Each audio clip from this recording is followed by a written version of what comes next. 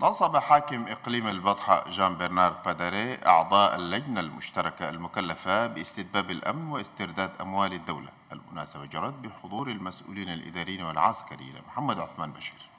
محاربة كافة الأفعال والحركات الغير قانونية وكذا الجماعات الإرهابية وقطاع الطرق من أجل تحقيق الأمن والاستقرار بإقليم البطحاء وكذا العمل على مراقبة حماية الدولة من المال العام. تلك هي الأهداف التي وضعها حاكم إقليم البطحاء جان برنار باداري نصب أعينه ضمن أولوياته الأساسية في المنطقة وقام على إثرها حاكم الإقليم بتشكيل لجنة مشتركة مهمتها الإشراف على تحقيق تلك الأهداف. وتتكون هذه اللجنة من مختلف قوات الأمن والدرك وعناصر من قيادات الأمن السري يعملون تحت إشراف تام وكامل لحاكم الإقليم جان برنار باداري. حاكم الإقليم وخلال المناسبة الخاصة بتنصيبهم رسميا شدد على ضرورة أن تباشر هذه اللجنة عملها بكل شفافية ومسؤولية وطالبهم بضرورة العمل من أجل تقدم المنطقة وإعطاء أولوية لمصلحة المواطن قبل كل شيء. عدد أعضاء هذه اللجنة تسعة عضوا يعملون تحت رئيسهم الشرفي وهو حاكم إقليم البطحاء